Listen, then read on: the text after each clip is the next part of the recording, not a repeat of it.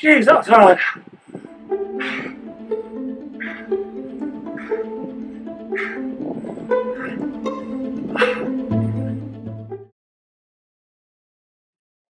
So some cool down thoughts.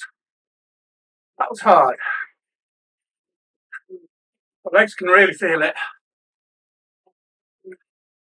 But it wasn't the legs as such, just the whole body just wasn't ready for it. I think the old adage, fail to prepare, prepare to fail, comes into it. So yeah, I did a warm up, had a banana for breakfast. It's more the last few weeks where I've been having the foot problems.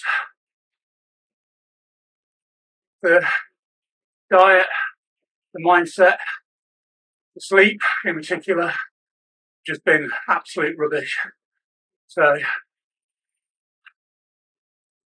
I need to sort myself out on that front. I realise that I'm not 30 anymore. Mid 50s, the body can't do what you demand of it without you looking after it. Not sure how I'm going to make the changes, but I know I need to make the changes.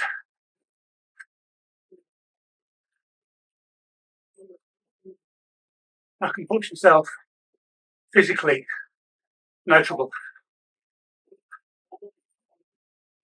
I can work to a schedule, no trouble.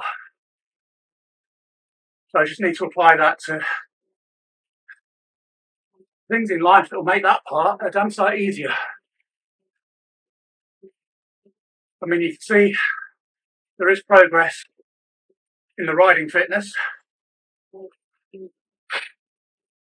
So the last few weeks, the FTP's gone up from a what was a very low base. I used to be a solid Cat B rider on Zwift. Now I'm just a an average Cat C. So I just want to keep pushing the fitness up, keep doing the indoor rowing. Well, I can't run, I can't even walk properly. So let's see.